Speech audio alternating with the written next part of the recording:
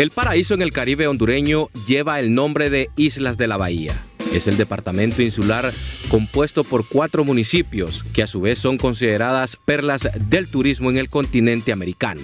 Hablamos de Roatán, Guanaja, Utila y José Santo Guardiola. El municipio de Roatán es actualmente destacado como uno de los mejores destinos turísticos para el presente año y, que, y quizás sea considerado como la capital del turismo en la región centroamericana debido a la gran afluencia de visitantes que recibe cada año, los cuales llegan a disfrutar de un sinnúmero de actividades entre las que se destacan el snorkel en una de las barreras de coral más hermosa del mundo. Aparte de ello, los paisajes terrestres muestran la belleza de la isla.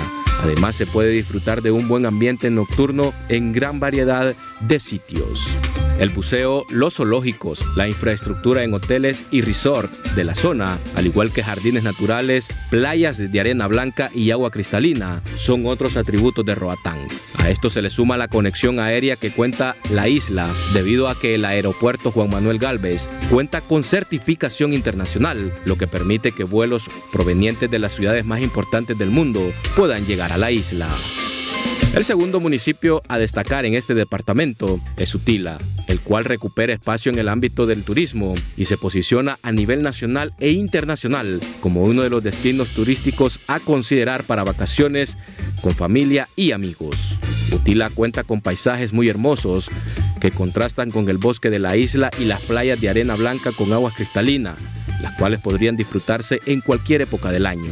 A esto se le suma un sinnúmero de actividades que se podrán realizar, como ser visitar lugares icónicos e históricos de la isla. Aparte también Utila ofrece lugares para realizar snorkel y buceo en varios archipiélagos y cayos que rodean la isla.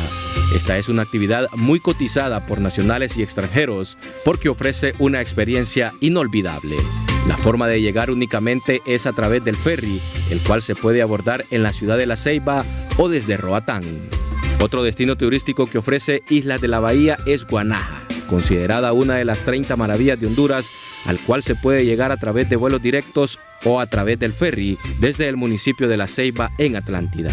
Guanaja cuenta con al menos ocho destinos turísticos, entre ellos el más cotizado es la isla de los Pinos, uno de los destinos que llama mucho la atención de nacionales y extranjeros. En cuanto al hospedaje, Guanaja cuenta con muy cómodos y accesibles hoteles, los cuales van desde 40 a 200 dólares la noche. Y el cuarto municipio es José Santo Guardiola, muy poco conocido por nacionales y extranjeros, pero si buscan la tranquilidad y disfrutar de bellos atardeceres, es el lugar perfecto. La ruta para llegar a este destino es a través de lancha o a través de un transporte público o privado desde Roatán. Por su cercanía con Roatán, comparte varios atractivos naturales, entre ellos la belleza de las playas y un sinnúmero de restaurantes que podrán visitar y también disfrutar a precios muy accesibles. Además, esta isla ofrece recorridos en lancha a través de bellos canales en medio de manglares donde podrán apreciar gran parte de la fauna y naturaleza de ese lugar. Islas de la Bahía es el departamento con mayor atractivos turísticos del país que podrán ser aprovechados por nacionales y extranjeros en este verano 2023. Con el apoyo en la edición de Aldo Acosta para HCH Noticias, les informó Luis